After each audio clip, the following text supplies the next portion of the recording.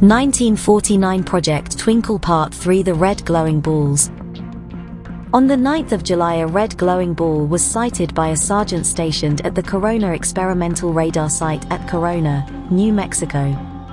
More recently, a pilot reported some aerial objects which, after investigation, were identified as planets.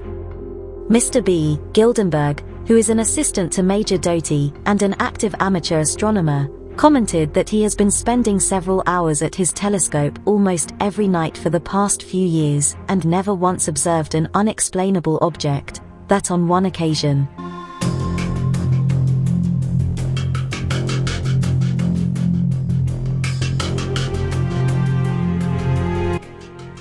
an excited acquaintance was pacified when a strange object showed up as an eagle in the telescope, that Clyde Tombaugh, discoverer of the planet Pluto and now engaged in activities at White Sands, never observed an unexplainable aerial object despite his continuous and extensive observations of the sky, that Fred Whipple in his work photographing meteors at Las Cruces, never detected a strange aerial object with his Schmidt cameras, and that the A&M College at Las Cruces engages in astronomical observations, but had never observed strange aerial phenomena.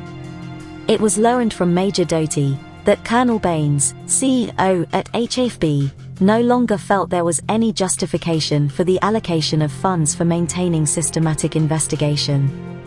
Rather, he provided that the project be maintained on a standby basis and without official Air Force status.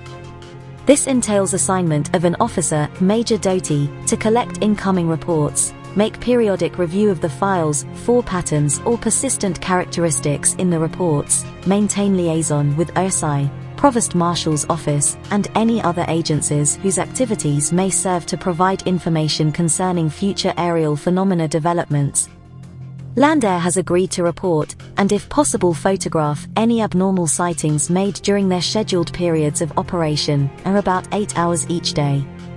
The weather station will function similarly. Also, all pilots have been briefed to report any unusual observations. If necessary, the project can be activated very quickly, even to the extent where funds will be made available for the purchase of equipment. Major Doty also arranged a conference with Mr. Warren Cott, who is in charge of land air operations. Mr. Cott pointed out that a formal report covering the year's vigilance period had not been issued since the contract contained no such provision. Actually, a time correlation study should be made covering the film and verbal recordings at both Askania stations. This would assure that these records did not contain significant material.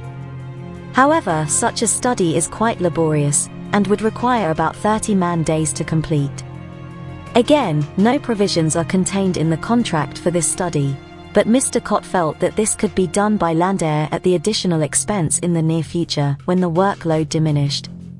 Mr. Cott requested formal authorization to do this, and Major Doty agreed to issue this letter of authorization.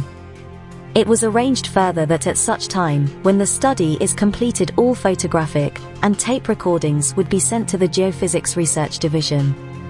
Prior to departing HFB, the project files were reviewed. Major Doty advised that access to the files had not been requested by any periodicals. On the 28th of August 1951, the subject was discussed informally with Dr. Lincoln La Paz, who expressed disbelief in all aerial phenomena except for the green fireballs. The red fireball occasionally reported he believed was the visual after effect of the green. Their recent origin in 1947 and peculiar trajectories did not permit, according to Dr. La Paz, them to be classed as natural phenomena. The most recent that has come to his attention occurred over Detroit on the 7th of July 1951.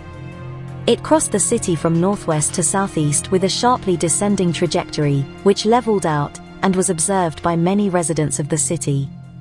Dr. La Paz has expressed the opinion that the fireballs may be of our own military origin, but if not, they are a matter of serious concern.